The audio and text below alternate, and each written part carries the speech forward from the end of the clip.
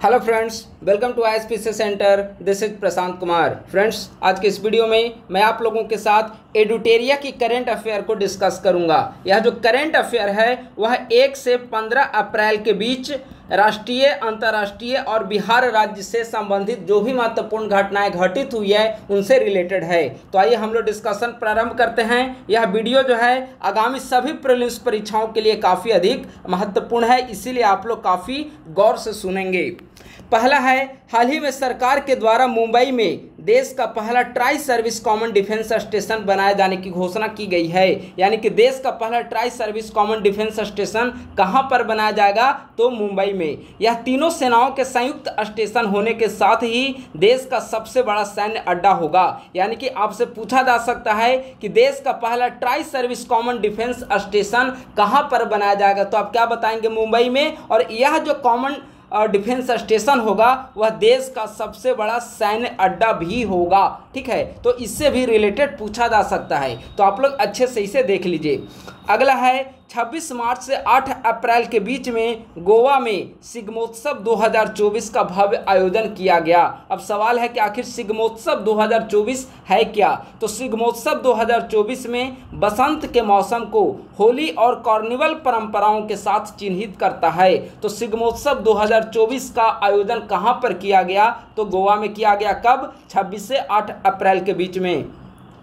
अगला प्रश्न है, हाल ही में उड़ीसा का पारादीप बंदरगाह कार्गो वॉल्यूम के मामले में भारत का सबसे बड़ा बंदरगाह बन गया है। यानी कि कार्गो वॉल्यूम के मामले में भारत का सबसे बड़ा बंदरगाह कौन बना? पारादीप बंदरगाह। और पारादीप बंदरगाह कहाँ पर स्थित है? तो उड़ीसा राज्य में स्थित है। तो इसे भी देख लेंगे।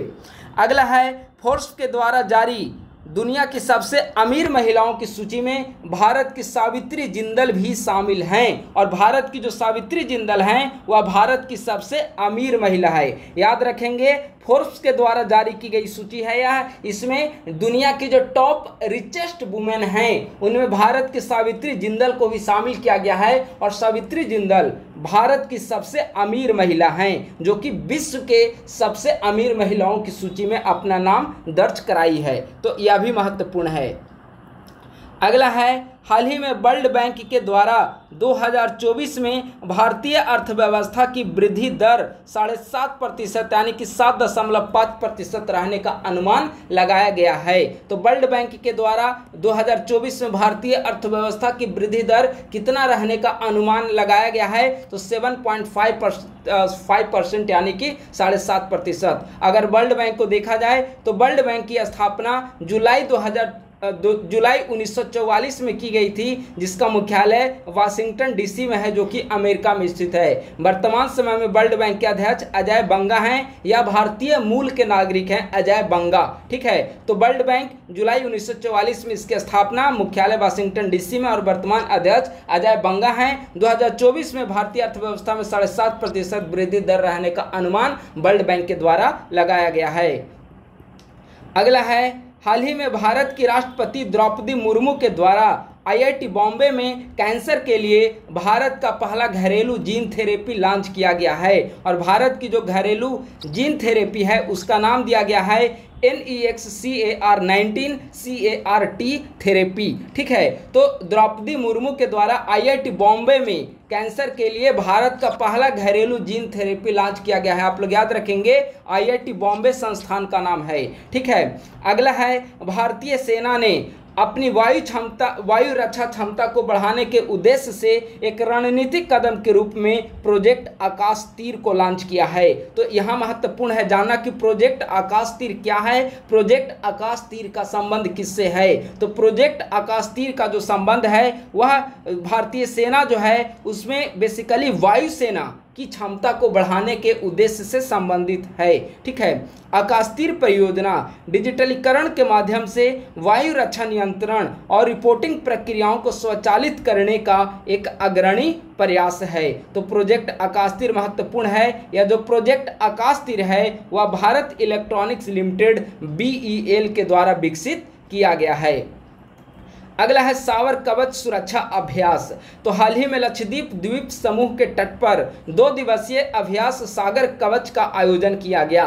यह जो सागर कवच अभ्यास है, इसमें भारतीय नौसेना, तटरक्षक बल, समुद्री पुलिस, मत्स्य पालन सीमा शुल्क और अन्य सुरक्षा एजेंसियाँ शामिल थी। तो हाल ही में सागर कवच सुरक्षा अभ्यास का आयोजन कहाँ पर किया गया? तो लक्षद्वीप के, लक्षद्वीप समूह के तटीय क्षेत्र पर किया गया है।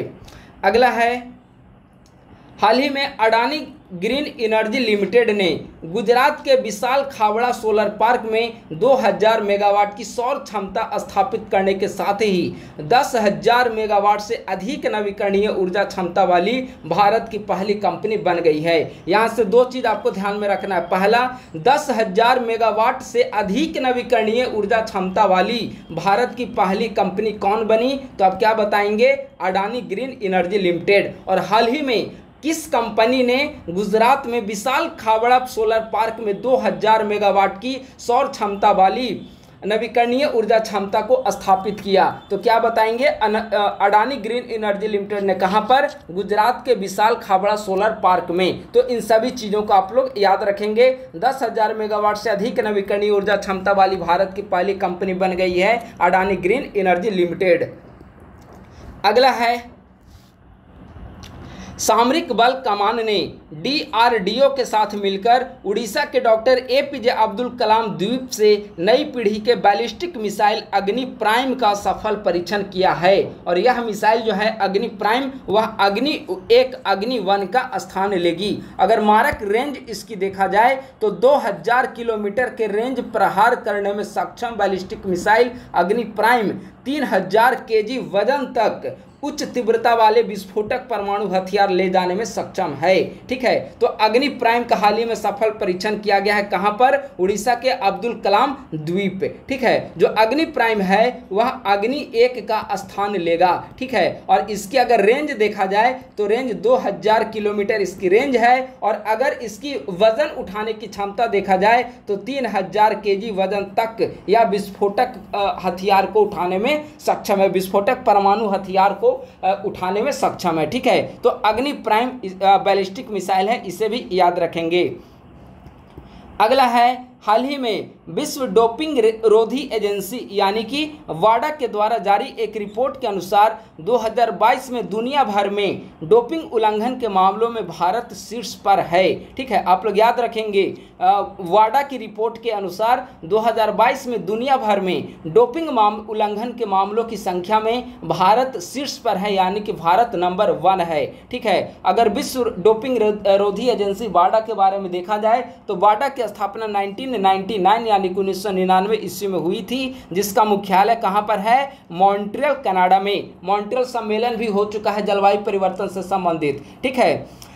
उद्देश्य जो है बाडा की स्थापना का, वह खेल में एथलीटों के द्वारा प्रदर्शन बढ़ाने वाली डोप के अनाधिकृत उपयोग के खिलाफ लड़ाई। यानी कि क्या होता है कि आप देखेंगे कि खेल खेल में क्या होता है कि कई सारे ऐसे खिलाड़ी होते हैं, वह अपनी प्रदर्शन को बेहतर करा, करने के लिए वे अनाधिकृत दवाइयों का प्रयोग करते हैं। ठीक है, इसीलिए उस पर रोक लगाने के लिए वाड़ा की स्थापना की गई थी और जो हाल ही में रिपोर्ट आया, उसमें भारत में सबसे अधिक वाड़ा का डोपिंग उल्लंघन के मामले देखने को मिलता है। तो भारत इसमें नंबर वन है। अगला है, हाल ही में आरबीआई के गवर्नर शक्तिकांत दास के नेतृत्व वाली आरबीआई मौद्रिक नीति समिति ने लगातार सातवीं बार रेपो रेट को छः दशमलव पाँच प्रतिशत पर अपरिवर्तित रखने की घोषणा की है। यानी कि रेपो रेट क्या है वर्तमान समय में? तो रेपो रेट है सिक्स पॉइंट फाइव परसेंट, यानी कि साढ़े छः प्रतिशत। अब यहाँ पर सवाल है कि आखिर रेपो रेट क्या है? रेपो रेट की डिफिनीशन क्या है? तो वह ब्याज दर जिस पर किसी देश का केंद्रीय बैंक वाणिज्यिक बैंकों को उधार देता है।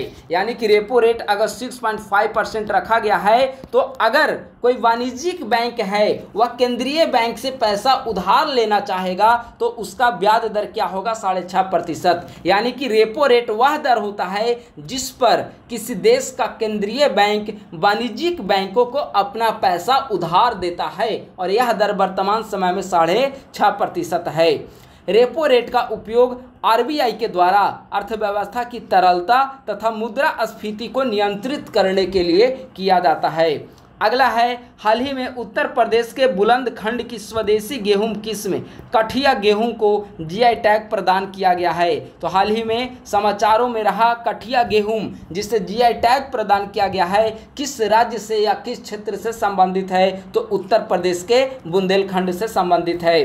अगला है, हाल ही में जारी एक रिपोर्ट के अनुसार भारत में भौगोलिक संकेत यानी कि जीआई पंजीकृत उत्पादों की संख्या 600 से अधिक हो गई है। यानी कि भारत में जो जीआई टैग प्रदान किया गया है तो जीआई टैग प्राप्त करने वाले उत्पादों की संख्या देखा जाए तो 600 से ज़्यादा हो गया है। इनमें नंबर वन पर उत्तर प्रदेश है, उत्तर प्रदेश के 69 उत्पाद हैं, वह जीआई से पंजीकृत हैं। तो वर्तमान समय में भारत में कुल जीआई पंजीकृत उत्पादों की संख्या छः प्लस हो चुकी है, और नंबर वन पर यूपी है 69 प्रोडक्ट वहाँ के जीआई से भौगोलिक उत्पादक भौगोलिक संकेतक जो है, उससे रजिस्टर्ड है जीआई उत्पाद है, ठीक है? अगला है 6 अप्रैल 2024 को तमिलनाडु के रामेश्वरम के पास भारतीय तटरक्षक बल के महानिदेशक राकेश पाल के द्वारा आईसीजीएस मंडपम में भारतीय तटरक्षक बल के जलीय केंद्र का उद्घाटन किया गया। तो आपसे प्रश्न पूछा जा सकता है, यह बहुत महत्वपूर्ण है। तमिलनाडु के कहाँ पर रामेश्वरम में भारतीय तटरक्षक बल के महानिदेशक राकेश पाल के द्वारा आईसीजीएस मंडपम में तटरक्षक बल के जलीय केंद्र का उद्घाटन किया गया? अगला है, हाल ही में भारतीय तटरक्षक बल ने एक त्वरित कार्यवाही गतिविधि को संचालित करते हुए 27 बांग्लादेशी मछुआरों को सुरक्षित बचाया है। भारतीय तटरक्षक बल के जहाज़ जो हैं, किस जहाज़, भारतीय तटरक्षक बल जो हैं, वह किस जहाज़ के द्वारा इसका रेस्क्यू ऑपरेशन चलाया? तो आईसीजी अमोघ के द्वारा। यानी कि तटरक्षक बल ने एक त्वरित कार्यवाही गतिविधियों को संचालित करते हुए सत्ताईस बांग्लादेशी मछुआरों को सुरक्षित बचाया और इस ऑपरेशन में जिस जहाज़ का प्रयोग भारतीय तटरक्षक बल के द्वारा किया गया उसका नाम है आईसीजी अमोघ है। केंद्रीय रसायन एवं उर्वरक मंत्री मनसुख मंडाविया ने वर्ष 2025 तक भारत के द्वारा यूरिया आयात को बंद करने की घोषणा की गई है। ठीक है? यह एक से 15 अप्रैल के बीच का है। आप लोग ध्यान रखेंगे, मंत्रालय जो केंद्रीय कैबिनेट है वह अब चेंज हो गई है इलेक्शन के पश्चात। ठीक है? तो पूरे सीरीज़ में अगर कोई मंत्री आपको दिखें तो वो पुराने नाम के आधार पर ही, चूँकि जिस समय घटना घटित हुई थी, उसके आधार पर यहाँ पर लिखा हुआ मिलेगा। ठीक है? तो तत्कालीन केंद्रीय केंद्रीय रसायन एवं उर्वरक मंत्री मनसुख मंडाविया ने 2025 तक भारत के द्वारा यूरिया आयात बंद करने की घोषणा की है। ठीक है। अगला है 210 कृत्रिम रिफ की स्थापना मुंबई के वर्ली कोलीबाड़ा में किया जा रहा है। 210 कृत्रिम रिफ की स्थापना कहाँ पर किया जा रहा है? मुंबई के वर्ली कोलीबाड़ा में। इससे पहले अब पुदुचेरी में किया जा चुका है। यह पहल आरपीजी फाउंडेशन के द्वारा वित्त पोषित किया गया है, जो इसके प्रोजेक्ट नेचर समुद्री संरक्षण पहल का हिस्सा है। अगला है चक्रवात मिचांग। तो हाल ही में तमिलनाडु ने चक्रवात मिचांग और 2023 में बाढ़ के बाद राष्ट्रीय आपदा राहत निधि को रोकने का आरोप लगाते हुए केंद्र सरकार पर सुप्रीम कोर्ट में मुकदमा दायर किया है। आपसे पूछा जा सकता है कि चक्रवात मिचौंग हाल ही में आया है तो चक्रवात मिचौंग से सर्वाधिक प्रभावित राज्य है तमिलनाडु। और तमिलनाडु, चूँकि चक्रवात वहाँ पर आ चुका, वहाँ की इंफ्रास्ट्रक्चर तबाह हो गई तो इसीलिए सरकार ने क्या किया कि केंद्र सरकार से मांगा कि आप हमें आपदा कोष प्रोवाइड करें। लेकिन केंद्र सरकार के द्वारा राष्ट्रीय आपदा राहत निधि प्रदान नहीं की गई और इसी के विरुद्ध तमिलनाडु के द्वारा सुप्रीम कोर्ट में मुकदमा दायर की गई है, यही इसका तात्पर्य है। अगला है हाल ही में स्वास्थ्य और परिवार कल्याण मंत्रालय के द्वारा आईओएस उपकरणों पर इलेक्ट्रॉनिक स्वास्थ्य रिकॉर्ड और संसाधनों को सुलभ बनाने के लिए my C G H S app launch किया गया है। तो my C G H S app किसके द्वारा लॉन्च किया गया? स्वास्थ्य एवं परिवार कल्याण मंत्रालय के द्वारा। क्यों लॉन्च किया गया है? तो आईओएस उपकरणों पर इलेक्ट्रॉनिक स्वास्थ्य रिकॉर्डों और संसाधनों को सुलभ बनाने के उद्देश्य से। अगला है हाल ही में जारी एक रिपोर्ट के अनुसार, तमिलनाडु वित्तीय वर्ष तेईस चौबीस में भारत में इलेक्ट्रॉनिक सामान का सबसे बड़ा निर्यातक बनकर उभरा है। यानी कि 2023-24 में भारत में सर्वाधिक इलेक्ट्रॉनिक सामान का निर्यात कहाँ से किया गया? या सर्वाधिक इलेक्ट्रॉनिक सामान निर्यातक राज्य कौन बना तेईस चौबीस में? तो आप क्या बताएँगे? तमिलनाडु। वर्तमान में तमिलनाडु देश के कुल इलेक्ट्रॉनिक निर्यात का 30 प्रतिशत अकेले तमिलनाडु करता है। यानी कि देश के कुल इलेक्ट्रॉनिक निर्यात में तमिलनाडु का योगदान 30 परसेंट है 30 प्रतिशत है। अगला है, हाल ही में केरल विश्वविद्यालय के पुरातत्वविदों ने गुजरात के पडता बेट कच्छ में एक बावन सौ वर्ष पुरानी महत्वपूर्ण हड़प्पा बस्ती का पता लगाया है। तो बहुत महत्वपूर्ण है। गुजरात विश्वविद्यालय के पुरातत्वविदों ने, यानी कि गुजरात विश्वविद्यालय के जो खगोल वेता हैं, उन्होंने गुजरात के पड़ता बेट कच्छ में जो कि स्थित है, पड़ता बेट में बावन सौ वर्ष पुरानी एक नई हड़प्पा बस्ती का पता लगाया है। तो इस दृष्टिकोण से बहुत महत्वपूर्ण है। पड़ता बेट कहाँ पर स्थित है? तो गुजरात में स्थित है। हाल ही में विदेश मंत्रालय के द्वारा चाबहार के बाद म्यांमार के सीतवे बंदरगाह के संचालन को मंजूरी प्रदान की गई है। और सीतवे बंदरगाह कहाँ पर है? म्यांमार में स्थित है। किस नदी पर है सितवे बंदरगाह? तो कलादान नदी पर है सितवे बंदरगाह, ठीक है? तो विदेश मंत्रालय के द्वारा चाबहार के बाद म्यांमार के सितवे बंदरगाह के संचालन को मंजूरी प्रदान की गई है, जो कि कलादान नदी पर अवस्थित है।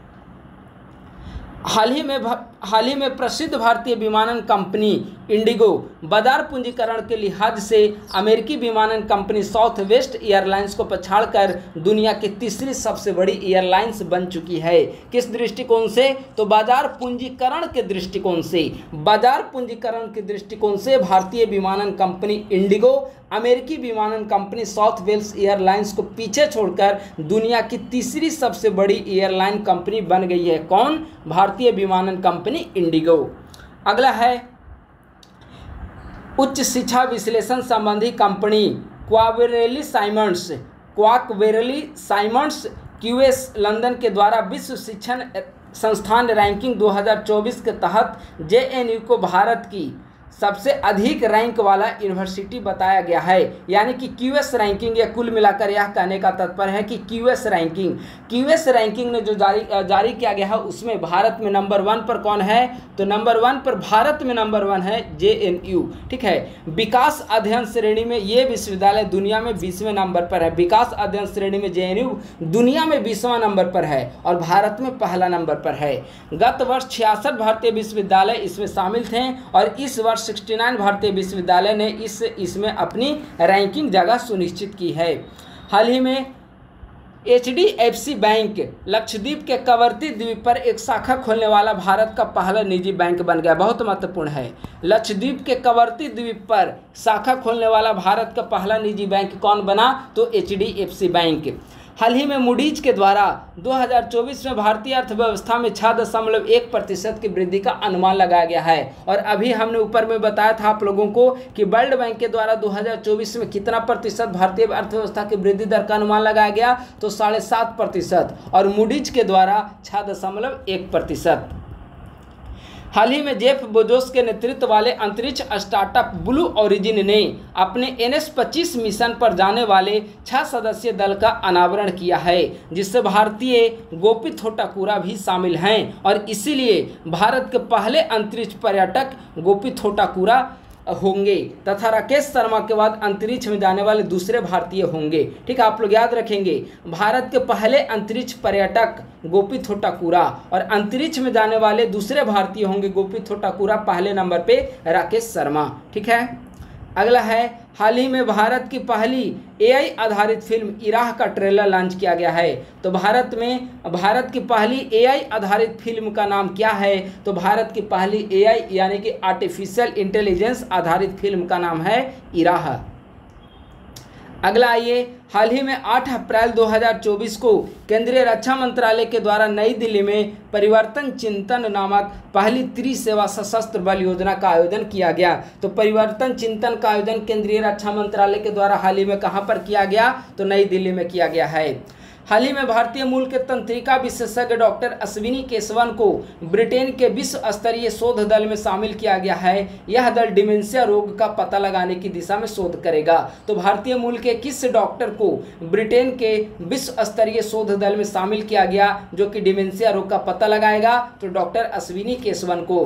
हाल ही में एनटीपीसी लिमिटेड के द्वारा अपनी प्रमुख कॉरपोरेट सामाजिक ज़िम्मेदारी पहल, यानी कि सीएसआर पहल के तहत बालिका सशक्तिकरण मिशन का नया संस्करण लॉन्च किया है। और जो बालिका सशक्तिकरण मिशन है, वह भारत सरकार की बेटी बचाओ, बेटी पढ़ाओ के पहल के अनुरूप है।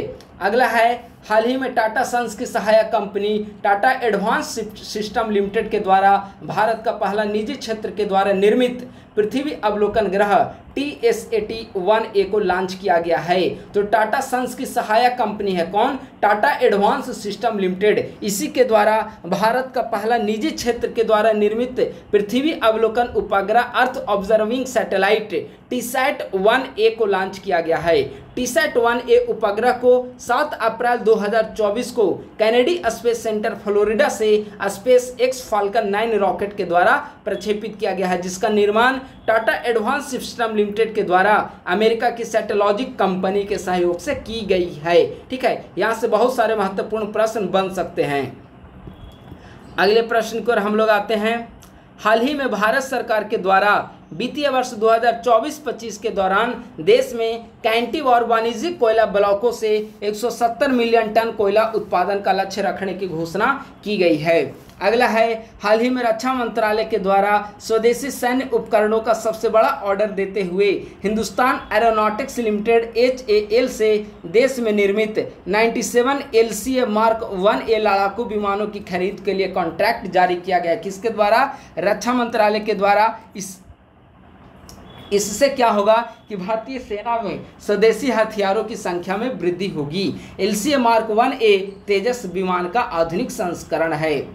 अगला है, महाराष्ट्र के सांगली ज़िले के शहर मिरज में बनने वाले सितार और तानपुरा को जीआई टैग दिया गया है। ठीक है, इन दो को जीआई टैग दिया गया है किसे? सितार और तानपुरा को, जिसका संबंध महाराष्ट्र से है आप लोग याद रखेंगे। अगला है गनगौर उत्सव 2023 गनगौर उत्सव 2023 का आयोजन हाल ही में कहाँ पर किया गया? तो गनगौर उत्सव 2023 का आयोजन हाल ही में राजस्थान में किया गया है। गनगौर भगवान शिव और देवी पार्वती के मिलन की स्मृति में मनाया जाने वाला त्यौहार है। तो गनगौर उत्सव 2024 का आयोजन कहाँ पर किया गया? तो राजस्थान में। ये राष्ट्रीय करेंट अफेयर खत्म हो चुका है, ठीक है? अब आइए हम लोग अंतर्राष्ट्रीय करेंट अफेयर देखते हैं। यानी कि एक से पंद्रह अप्रैल के बीच जो भी अंतर्राष्ट्रीय अंतर्राष्ट्रीय करेंट अफेयर से संबंधित महत्वपूर्ण घटनाएँ हैं, उसे हम लोग डिस्कस करेंगे। हाल ही में पूर्वी अफ्रीकी देश मेडागास्कर उष्ण कटिबंधीय चक्रवात गमाने की चपेट में आ गया है। यानी कि गमाने चक्रवात का संबंध किस या फिर गमाने चक्रवात से सबसे ज़्यादा प्रभावित कौन सा देश हुआ? पूर्वी अफ्रीकी देश मेडागास्कर। या जो गमाने चक्रवात है, गमाने चक्रवात का नामकरण इसवातनी देश के द्वारा किया गया है। बहुत महत्वपूर्ण, आप लोग लिख लेंगे। चक्रवात गमाने का नामकरण किसके द्वारा किया गया है? तो इसवातनी देश के द्वारा किया गया सबसे ज़्यादा प्रभावित देश है मेडागास्कर। हाल ही में यूनेस्को के कार्यकारी बोर्ड ने ग्लोबल जियो पार्क नेटवर्क में 18 नई साइटें जोड़ी है, जिसके बाद 48 देशों में साइटों की कुल संख्या 213 हो गई है। यानी कि ग्लोबल जियो पार्क नेटवर्क में हाल ही में यूनेस्को के द्वारा कितनी नई स्थलों को जोड़ा गया तो 18 नई साइटों को जोड़ा गया है। और कुल मिलाकर अगर टोटल देखा जाए, जो ग्लोबल जियो पार्क नेटवर्क में जुड़े हुए जो स्थल हैं, वे विश्व के अड़तालीस देशों के लगभग दो सौ तेरह स्थल इसमें शामिल हैं। हाल ही में काठमांडू, नेपाल में नेपाल, भारत अंतर्राष्ट्रीय सांस्कृतिक कॉन्क्लेव का आयोजन किया गया है।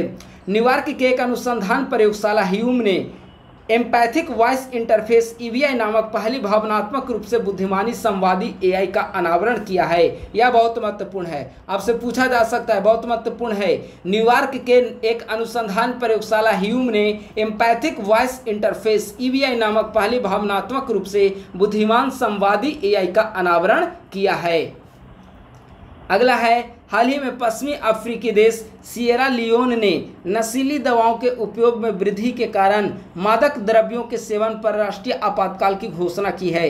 इस ड्रग को कुश कहा जाता है, जिसे बनाने में इंसान का हड्डियाँ भी लगता है। इसी कारण लोग इसे इसी कारण लोग कब्र खोद रहे। ठीक है? हाल ही में पश्चिमी अफ्रीकी देश सियरा लियोन ने नशीली दवाओं के उपयोग में वृद्धि के कारण मादक द्रव्यों के सेवन पर राष्ट्रीय आपातकाल लगाने की घोषणा की है। ठीक है? इस ड्रग का नाम क्या दिया गया है? कुछ आपसे पूछा जा सकता है कि हाल ही में अफ्रीका के किस देश ने मादक द्रव्यों के सेवन पर राष्ट्रीय आपातकाल लगाने की घोषणा की है? तो आप क्या बताएँगे? पश्चिमी अफ्रीकी देश है सियरा लियोन। ठीक है? अगला है, हाल ही में जिम्बाब्वे के द्वारा विनाशकारी सूखे के कारण आपदा की घोषणा की गई है। ठीक है, विनाशकारी सूखे के कारण वहाँ पर आपदा की घोषणा की गई है। किसके द्वारा? जिम्बाब्वे के द्वारा।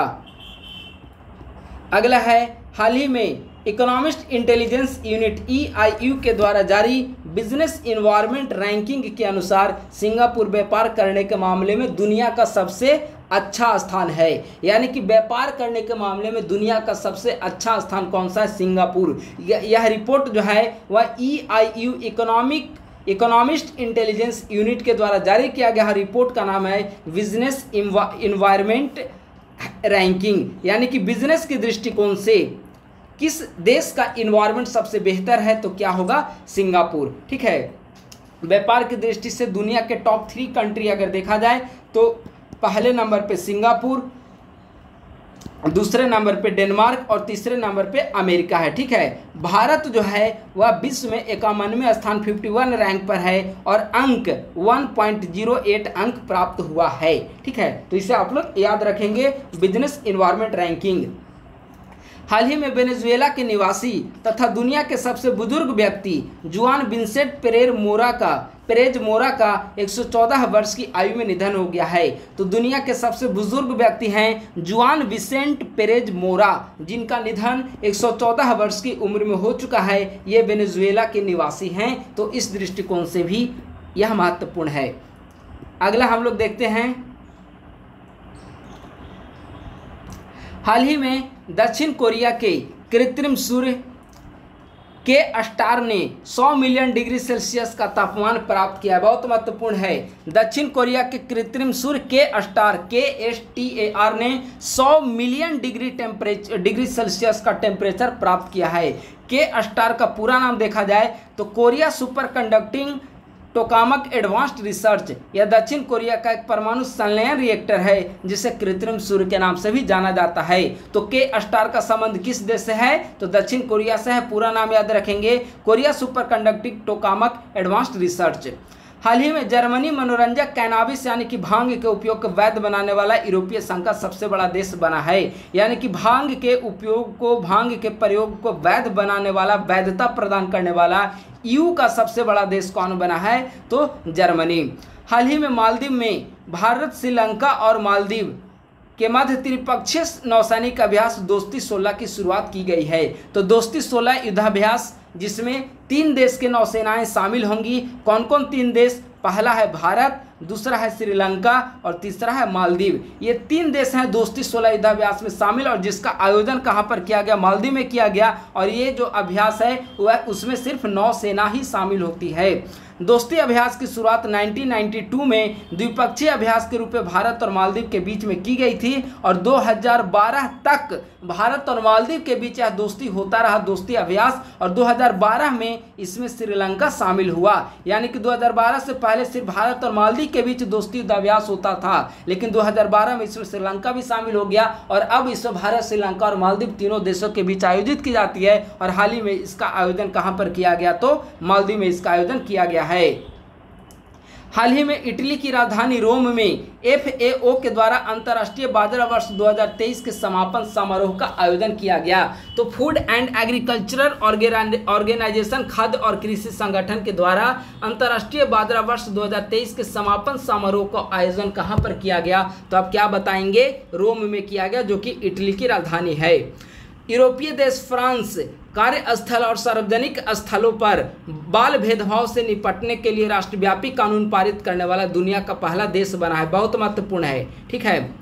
हाल ही में यूरोप का कौन सा ऐसा देश है जिसने कार्यस्थल और सार्वजनिक स्थानों पर बाल भेदभाव से निपटने के लिए एक राष्ट्रव्यापी कानून को पारित किया है? तो वह कौन सा यूरोपीय देश है? फ्रांस। हाल ही में इक्वाडोर की राजधानी क्विटो स्थित मैक्सिको के दूतावास में पुलिस के घुसने की घटना के बाद मैक्सिको के राष्ट्रपति एंद्रेस मैनुअल लॉपेज ओब्रदोर ने इक्वाडोर से सभी राजनयिक संबंध खत्म करने की घोषणा की है। तो आपसे पूछा जा सकता है कि हाल ही में मैक्सिको ने किस देश के साथ अपने राजनयिक संबंध खत्म करने की घोषणा की? तो मैक्सिको ने इक्वाडोर के साथ यह संबंध समाप्त करने की घोषणा की है। हाल ही में वेनेजुएला के जुआन विंसेंट प्रेज की मृत्यु के बाद 114 वर्षीय ब्रिटिश सेवानिवृत्त जॉन अल्फ्रेड टिनिस वुड को दुनिया के सबसे बुज़ुर्ग व्यक्ति के रूप में नामित किया गया है। देखिए, अभी हमने बताया था कि हाल ही में वेनेजुएला के निवासी जो हैं, जुआन विंसेंट पेरोज मुरा, इनका 114 वर्ष की उम्र में निधन हो गया है, जो कि वेनेजुएला के रहने वाले हैं। तो इनके निधन के पश्चात दुनिया का सबसे बुज़ुर्ग व्यक्ति किन्हें नामित किया गया है? तो जॉन अल्फ्रेड टिनिस वुड को, जो कि ब्रिटेन के निवासी हैं, ठीक है? अगला आइए, हाल ही में 15 अप्रैल से 28 अप्रैल के मध्य भारत और उज्बेकिस्तान के बीच दस्तलिक का आयोजन किया गया। दस्तलिक युद्धाभ्यास दस्तलिक युद्धाभ्यास भारत और उज्बेकिस्तान के बीच, जिसका आयोजन उज्बेकिस्तान के टर्मेज में किया गया। हाल ही में चर्चा में रहा बेपी कोलंबो मिशन का संबंध, बुध ग्रह की सतह की संरचना और चुंबकीय क्षेत्र के अध्ययन से है। तो आपसे पूछा जा सकता है कि हाल ही में चर्चा में रहा बेपी कोलंबो मिशन का संबंध किससे है? तो बुध ग्रह से है। यह ईएसए यानी कि यूरोपीय अंतरिक्ष एजेंसी एवं जाक्सा यानी कि जापान एरोस्पेस एक्सेलरेशन एजेंसी का संयुक्त बुध मिशन है। यानी कि जापान और यू इन इन दोनों का संयुक्त मिशन है। कौन? केपी कोलंबो, जो कि बुध ग्रह की सतह और उसकी संरचना के अध्ययन के लिए लॉन्च किया गया। अगला है, नाटो के द्वारा हाल ही में पचहत्तरवा स्थापना दिवस मनाया गया है।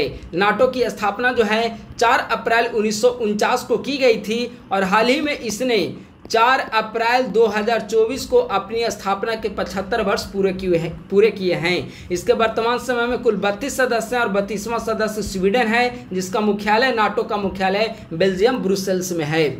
हाल ही में 16 से 18 अप्रैल के मध्य यूएई के अबुधाबी में विश्व भविष्य ऊर्जा शिखर सम्मेलन का आयोजन किया जाएगा। कहाँ पर? विश्व भविष्य ऊर्जा शिखर सम्मेलन का आयोजन कहाँ पर किया गया? कहाँ पर किया जाएगा? सॉरी 16 से 18 अप्रैल के बीच किया जा चुका है। तो विश्व भविष्य ऊर्जा शिखर सम्मेलन का आयोजन 16 से 18 अप्रैल के बीच यूएई के अबू धाबी में। अगला है, हुरुन ग्लोबल यूनिकॉर्न इंडेक्स 2024 के अनुसार अमेरिका में सर्वाधिक 703 यूनिकॉर्न हैं। यानी कि सबसे ज़्यादा यूनिकॉर्न अमेरिका में है और यूनिकॉर्न की दृष्टि से भारत तीसरे नंबर पे है। पहले नंबर पे अमेरिका 703 यूनिकॉर्न है, वहाँ पर चाइना दूसरे नंबर पे 340 यूनिकॉर्न है और भारत तीसरे नंबर पे जहाँ के 67 यूनिकॉर्न हैं। यानी कि हुरुन ग्लोबल यूनिकॉर्न इंडेक्स के अनुसार नंबर वन पे यूएसए और नंबर थ्री पे इंडिया है। दो हज़ार चौबीस में कम निवेश के कारण भारत के कुल यूनिकॉर्न की संख्या में गिरावट देखने को मिली है। अगला है, हाल ही में रेडबुल के मैक्स बेरस्टेपेन ने सर्जियो पेरोज को हराकर जापानी फार्मूला वन ग्रैंड प्रिक्स 2024 जीत लिया है। तो जापानी फार्मूला वन ग्रैंड प्रिक्स 2024 को किसने जीता? मैक्स वेरास्टाइपेन ने जीता है सर्जिया पेरोज को हराकर। जिम्बाब्वे के द्वारा हाल ही में एक नई स्वर्ण समर्थित मुद्रा जिग की शुरुआत की गई है। तो एक स्वर्ण समर्थित मुद्रा है जिग, जिसकी शुरुआत जिम्बाब्वे के द्वारा की गई है। हाल ही में नेपाल के द्वारा माउंट एवरेस्ट के कचरा इकट्ठा करने के लिए पर्वतीय सफ़ाई अभियान 2024 की घोषणा की गई है। तो पर्वतीय सफ़ाई अभियान 2024 की घोषणा किसके द्वारा की गई? तो नेपाल के द्वारा की गई है माउंट एवरेस्ट पर के कचरे को इकट्ठा करने के लिए। हाल ही में रूस के साथ रक्षा व्यापार के हिस्से के रूप में भारत को इगला एस मैनपैट्स की प्रारंभिक खेप प्राप्त हुआ है, जिसमें 120 लॉन्चर और 400 मिसाइलें शामिल हैं। इगला एस सिस्टम भारतीय सेना की बहुत कम दूरी की वायु रक्षा क्षमता को बढ़ाने का कार्य करेगा। अगला है, हाल ही में एक गैर लाभकारी संगठन, अर्थ एक्शन के द्वारा प्लास्टिक ओवरशूट डे 2024 रिपोर्ट जारी की गई है। यह उस बिंदु को चिन्हित करती है जब वैश्विक प्लास्टिक कचरा प्रबंधनीय स्तर से अधिक होकर पर्यावरण को नुकसान पहुंचाता है, ठीक है? तो प्लास्टिक ओवरशूट डे 2024 रिपोर्ट किसके द्वारा जारी की गई? अर्थ एक्शन के द्वारा जारी की गई है।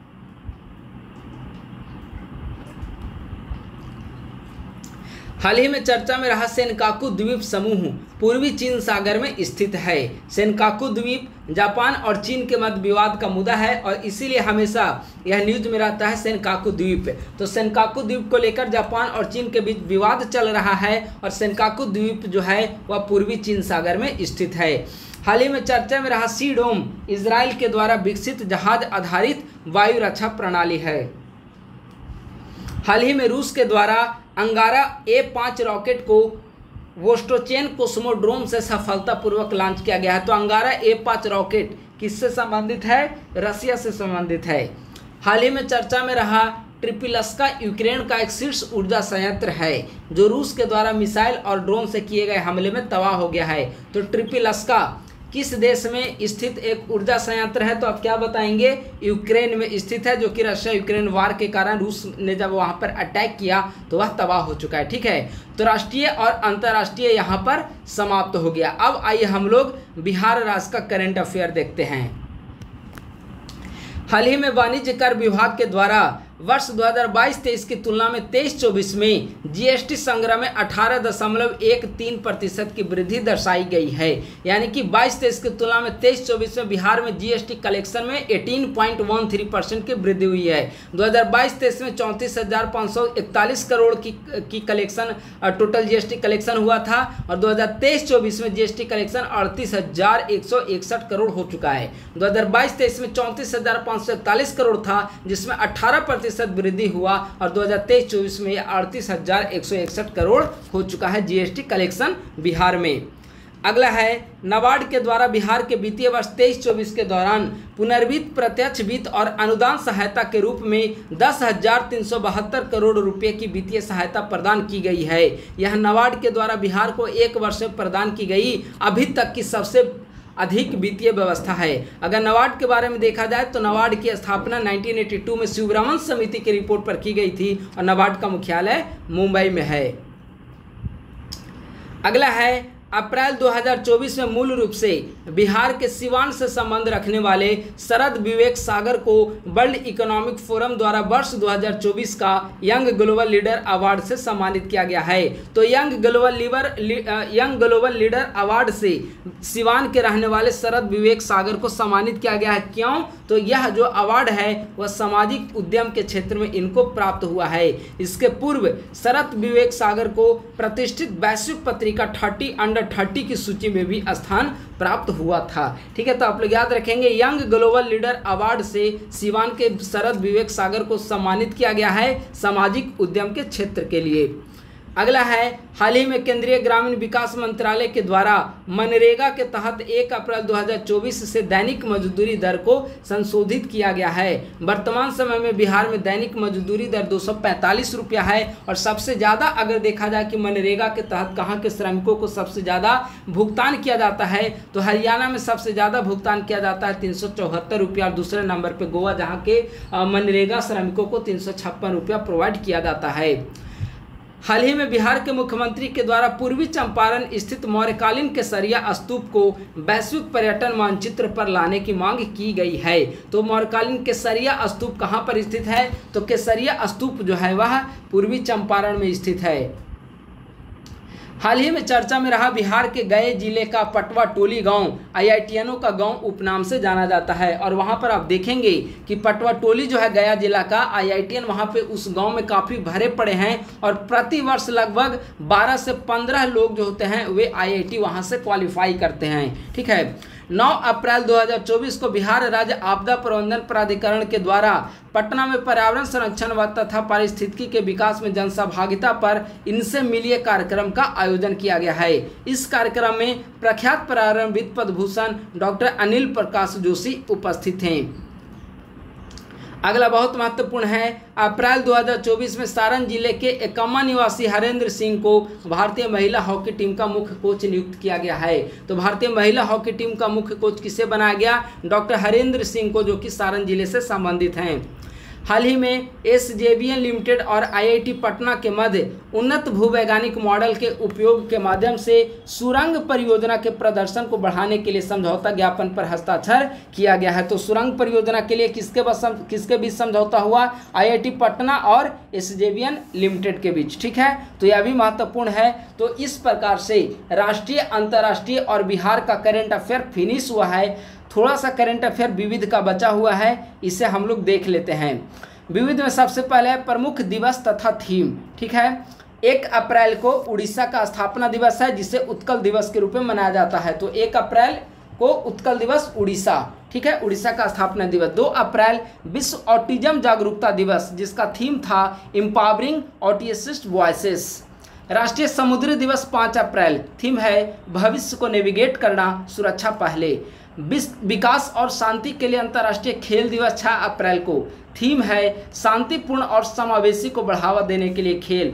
अगला और बहुत महत्वपूर्ण है, सात अप्रैल, विश्व स्वास्थ्य दिवस। इसका थीम क्या है? मेरा स्वास्थ्य मेरा अधिकार। विश्व स्वास्थ्य दिवस का थीम, मेरा स्वास्थ्य मेरा अधिकार।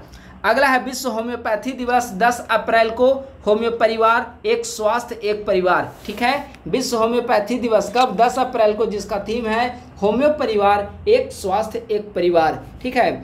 अगला है मानव अंतरिक्ष उड़ान के लिए अंतर्राष्ट्रीय दिवस 12 अप्रैल को, जिसका थीम है वैज्ञानिक जिज्ञासा को प्रोत्साहित करना। समानता दिवस 14 अप्रैल, विश्व कला दिवस 15 अप्रैल, ठीक है? तो इस प्रकार से महत्वपूर्ण दिवस और उसके थीम थे। आइए अवार्ड को देखते हैं। हाल ही में सतलुज जल विद्युत निगम लिमिटेड को कॉरपोरेट सामाजिक उत्तरदायित्व में उत्कृष्टता के लिए विश्वकर्मा पुरस्कार 2024 से सम्मानित किया गया। ठीक है? तो विश्वकर्मा पुरस्कार 2024 से किसे सम्मानित किया गया? सतलुज जल विद्युत जल विद्युत निगम लिमिटेड को।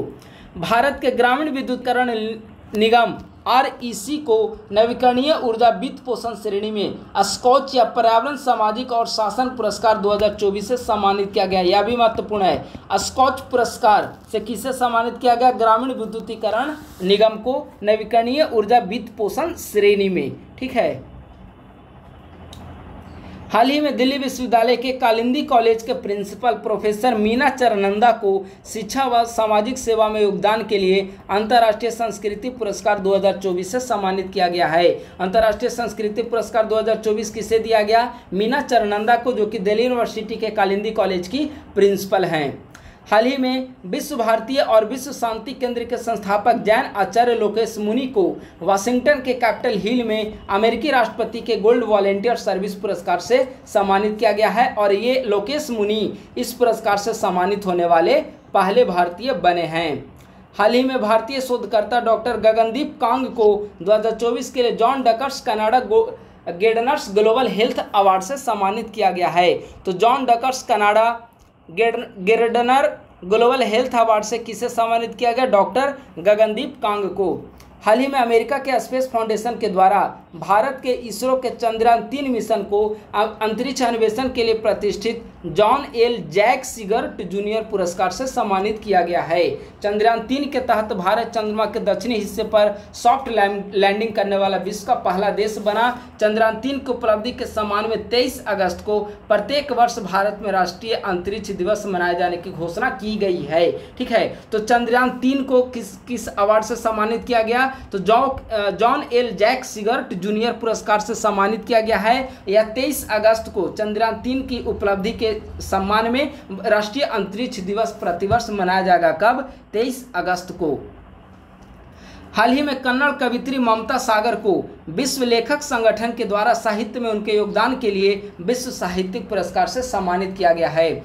भारतीय अमेरिकी गोल्फर अक्षय भाटिया ने प्ले ऑफ़ में शानदार प्रदर्शन करते हुए वालेरो, टेक्सास ओपन का खिताब जीता है। कौन? अक्षय भाटिया ने। ठीक है, अब आइए कुछ हम लोग खेल से देख लेते हैं। हाल ही में फुकेत थाईलैंड में चल रहे आईडब्ल्यूएफ विश्व कप 2024 में भारत की प्रसिद्ध महिला भारतोलक बिंदिया रानी देवी ने कांस्य पदक जीता है। तो आईडब्ल्यूएफ वर्ल्ड कप का आयोजन कहाँ पर किया गया? तो थाईलैंड में इसका आयोजन किया गया, जहाँ पर भारत की प्रसिद्ध महिला भारोत्तोलक बिंदिया रानी देवी ने कांस्य पदक हासिल किया है। भारतीय टेनिस स्टार रोहन बोपन्ना ने ऑस्ट्रेलिया के टेनिस खिलाड़ी मैथ्यू एबडेन के साथ मियामी ओपन युगल पुरस्कार 2024 जीता है। तो मियामी ओपन पुरुष युगल खिताब 2024 रोहन बोपन्ना और मैथ्यू एबडेन ने जीता।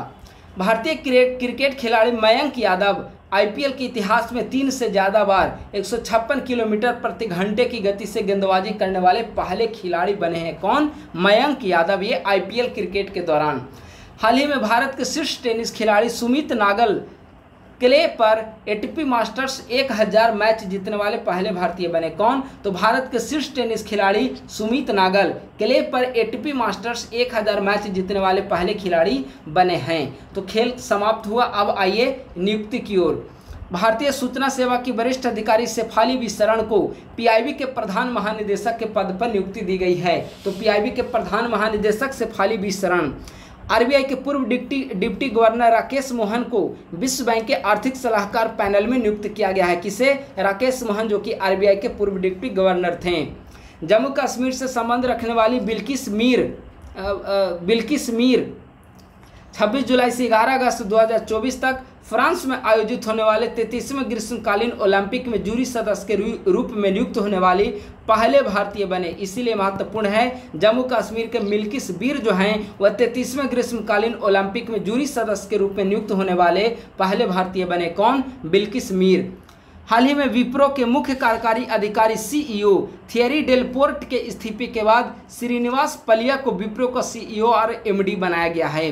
हाल ही में जुडित सुमिनवा तलुको को कांगो की पहली महिला प्रधानमंत्री नियुक्त की गई है। तो कांगो की पहली महिला प्रधानमंत्री किससे बनाया गया? जुडित सुमिनवा तुलुका को।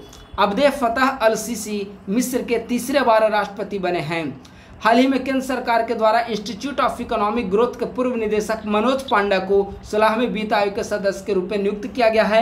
वित्त आयोग, आप जानते हैं कि जिसका गठन आर्टिकल 280 के तहत किया जाता है और इसके जो अध्यक्ष हैं सोलहवें वित्त आयोग के अध्यक्ष, वे अरविंद पनगड़िया हैं। अरविंद पनगड़िया के साथ चार अन्य सदस्य भी हैं। सोलहवें वित्त आयोग का कार्यकाल दो हज़ार छब्बीस से दो हज़ार इकतीस तक की अवधि के लिए है। हाल ही में भारतीय पुलिस सेवा यानी कि आईपीएस के वरिष्ठ अधिकारी, वरिष्ठ आईपीएस अधिकारी अनुराग कुमार को सीबीआई के संयुक्त निदेशक बनाया गया है। तो अनुराग कुमार सीबीआई के संयुक्त निदेशक बने। हाल ही में हरेंद्र सिंह को, अभी हमने ऊपर डिस्कस किया था, हरेंद्र सिंह को भारतीय महिला हॉकी टीम का कोच नियुक्त किया गया है। भारतीय मूल के आयरिश प्रधानमंत्री लियो बराडकर के इस्तीफे के बाद साइमन हैरिस को आयरलैंड के नए प्रधानमंत्री के रूप में निर्वाचित किया गया है और आयरलैंड के पहले समलैंगिक प्रधानमंत्री लियो बराडाकर भी थे। ठीक है तो आप लोग याद रखेंगे, लियो बराडाकर इस्तीफा दिया जो कि आयरलैंड के पहले समलैंगिक प्रधानमंत्री थे और इनके इस्तीफे के बाद साइमन हैरिस आयरलैंड के नए प्रधानमंत्री नियुक्त हुए, निर्वाचित किए गए। ठीक है? हाल ही में क्रिस्टीना जॉर्जिवा को अंतर्राष्ट्रीय मुद्रा कोष के दूसरे कार्यकाल के लिए एमडी बनाया गया। तो आईएमएफ के नए एमडी क्रिस्टीना जॉर्जिवा।